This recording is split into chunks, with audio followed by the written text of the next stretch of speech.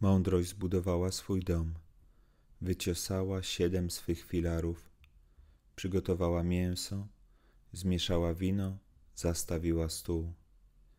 Wysłała służące i woła na szczytach wzgórz miast. Kto prosty, niech tu wejdzie. A tym, którym brak rozumu, mówi: Chodźcie, jedzcie mój chleb, pijcie wino, które zmieszałam. Porzućcie prostactwo, abyście żyli, i idźcie prostą drogą rozumu. Kto karci szydercę, ten ściąga na siebie hańbę, a kto strofuje bezbożnika, ten się plami. Nie strofuj szydercy, aby cię nie znienawidził. Strofuj mądrego, a będzie cię kochał.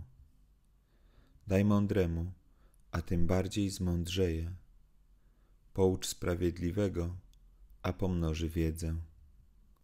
Początkiem mądrości jest bojaźń Pana, a poznanie świętego to rozum. Gdyż dzięki mnie pomnożą się Twoje dni i przedłużą się lata Twojego życia. Jeśli jesteś mądry, jesteś mądry dla siebie. Jeśli jesteś szydercą, sam poniesiesz tego skutki.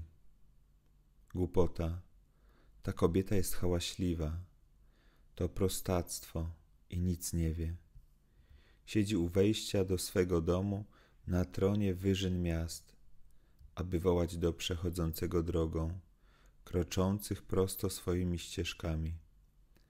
Kto prosty, niech tu wejdzie, a do tego, komu brak rozumu, mówi: Kradziona woda jest słodka i chleb pokątnie zdobyty smakuje.